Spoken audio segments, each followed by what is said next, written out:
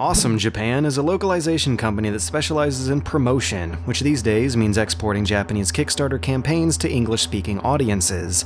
They've been active on Kickstarter since July 2014, and over that year, six of their 13 projects were unsuccessful. Despite their inexperience and despite their 53% success rate, they somehow found themselves co managing Shenmue 3 and they may just be one of many reasons why one of the most controversial and divisive Kickstarters ever was also one of the most successful. Shenmue 3 was announced on stage at Sony's E3 press conference on June 15, 2015. The sequel's low fundraising goal compared to its predecessors and its big time stage presence suggested some kind of financial relationship with Sony. It immediately triggered the suspicions of many skeptics, myself included, which didn't stop it from meeting its $2 million funding goal within one day. The game was introduced to us with these words Now, this is very much their project, but we wanted to celebrate their announcement on our stage. Since this is a game that PlayStation fans have been very, very, very vocal about. Yet one day later, it was confirmed that it was, in some undisclosed but known way, Sony's game as well. The extent of the relationship between Shenmue and Sony is a topic that started zigzagging back and forth one day later, when Giovanni Corsi, PlayStation's director of third party relations, confirmed on a live stream that Sony and PlayStation is definitely a partner in this game, and it's going to be run through uh, third party production. We're going to help YSNet get the game done we're going to be partners on it the whole way and really excited to see this thing come out in a couple of years. On July 17th, while E3 was still happening, an interview with Shuhei Yoshida has him saying our third party relations team struck a deal to help kickstart the campaign at the E3 conference, which doesn't necessarily claim they're investing money but rather just stage time towards the game. Meanwhile, in Japan, this issue of Famitsu Weekly included an interview with Yu Suzuki in which he says, according to a translation on Shenmue Dojo, that after a talk about Shenmue at GDC 2014, Sony and Sega both pushed for him to make another game. Sega by agreeably giving him the license, and Sony Computer Entertainment by giving him the support. This interview does shed light on at least one question about the game's strangely paltry $2 million goal, which is a lot by Kickstarter standards, but a drop in the bucket by the first two games' $47 million budget. According to Yu Suzuki, the $2 million would have been needed to make a minimal version of Shenmue 3, as a mostly story driven game. A few lines earlier, he was noting that some fans were even suggesting that it just do a novel or manga. It's an insightful interview, it actually explains a whole lot, but shortly after it went up, a quote started floating around, originating from a NeoGAF post that claims that in this interview, Yu Suzuki says he expects the game's investment will primarily come from individual backers, so he wants them all to be happy with the finished product. Doesn't sound like Sony and others are giving him that much. And that would have cleared the issue all the way up. After all, the biggest question behind this whole story that no one involved has understandably yet answered is the ratio between public and private funding. But this quote would seem to answer that. However, according to two other different translations on the Shenmue Dojo forums of that same interview, that answer makes no mention of the budget portioning at all. I got six Japanese speaking fans of the channel to all look at this interview, and they all came back to me with the same answer. The quote was likely to be a misinterpretation.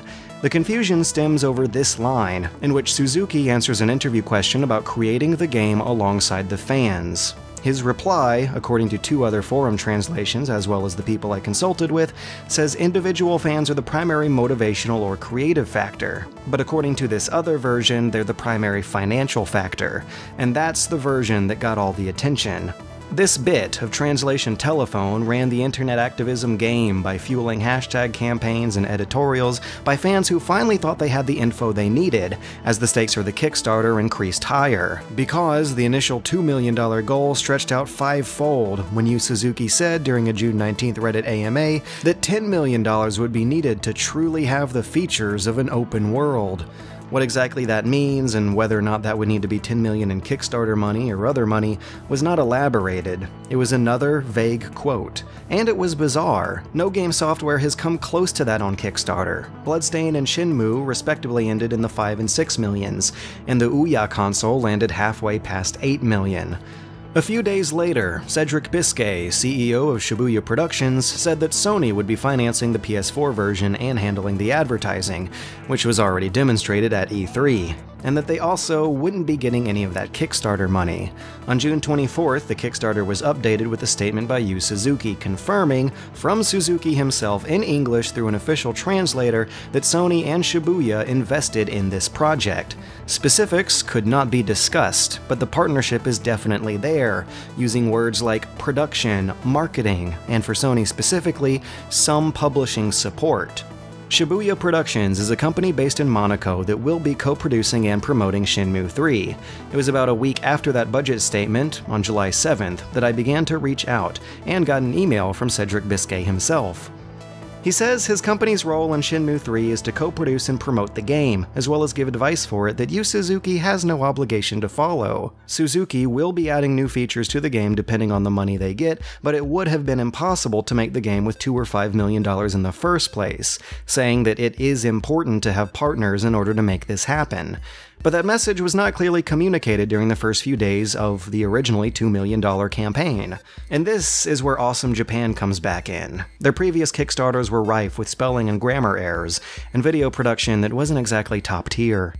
In Shenmue's case, conveying an agreeable, easy to understand message about how the Kickstarter fundraiser would scale to the final game's scope and of how industry supported Shenmue 3 would be wasn't exactly nailed either.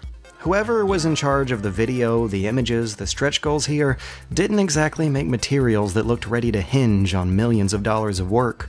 The emotional appeal, though, and the stage presence behind the campaign were brilliantly successful. The Save Shenmue hashtag is still active, and the E3 reveal had them smashing their goal within a day. But in the meantime, they were tossing around some very strange stretch goals and backer tiers that got stranger as the project was updated.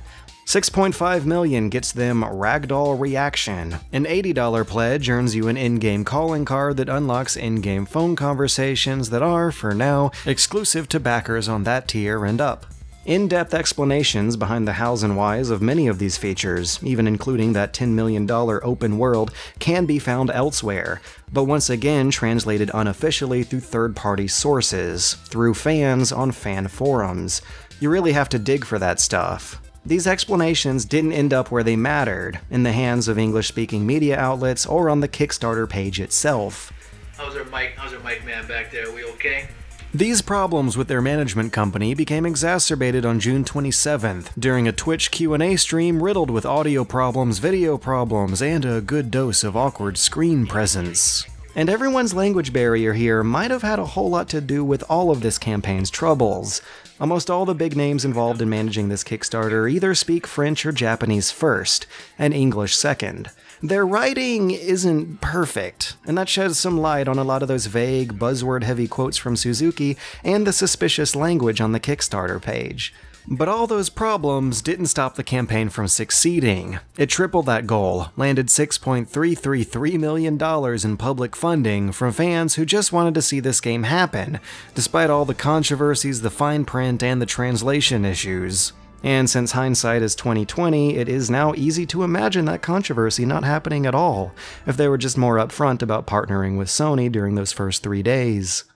So far we have been funded by a private investor, and the cost of what you just saw is about 1.5 million dollars. このタイプのゲームを理解し支援してくれるパートナーは見つけました Bloodstained and Kingdom Come were two successful Kickstarters that were open about their private investors from day one, and they managed to avoid a similar scope of this controversy entirely.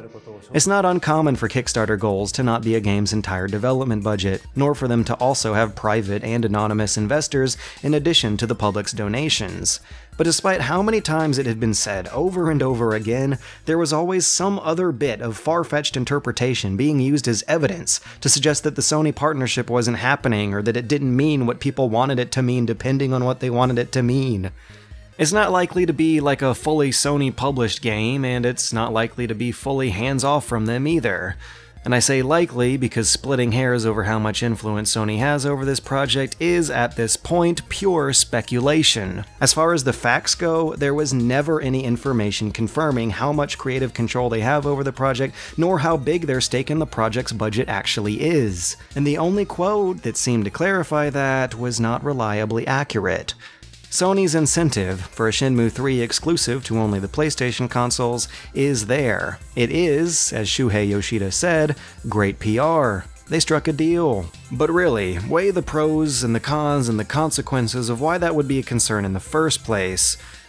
Well, console exclusivity is one con, a fear of big publishers exerting control over small, passion driven indie projects is another. But consider the names involved here. Among the big mega publishers, SCE has probably the friendliest track record of pushing out quality third party indie games for their platform. And Yu Suzuki is a beloved classic developer who is competing neck and neck with the likes of Shigeru Miyamoto back in the 80s. The controversy over Shenmue 3's funding seems to stem from two concerns. One is a very traceable issue over how this game's dependency was disclosed, and the other concern is much more abstract. It has to do with idealism. It's about whether or not Kickstarter can harbor truly independent games at all. Both concerns rely on assumptions and opinions, but those assumptions and the context behind them paint an all too real picture about how Kickstarters could be used for projects that only halfway need those funds, taking advantage of crowdfunding resources in ways some of the crowd would consider exploitive securing funding, minimizing risk, and meeting milestones by using a group who typically isn't faced with that burden. And whether or not that's a bad thing is something I don't think I'm ready to decide on. It just seems risky, it's unprecedented, and it's unpredictable. These fans, who love these brands enough to willingly gamble with their money, are doing it by their own volition to make something they want that wouldn't be happening without them. Their money is going exactly where they want it to. What is a valid concern are the mistakes made by the PR and marketing folks in charge of this Kickstarter. Those mistakes are what we can learn from for the future fans would feel more comfortable donating to a project that they know needs the money, and by failing to paint an accurate picture of how Shenmue 3 needed that money, due in large part by an inexperienced company not ready for a campaign of this size, they've made it one of the most controversial, rocky, bumbling, and questionable record smashing successes in recent history.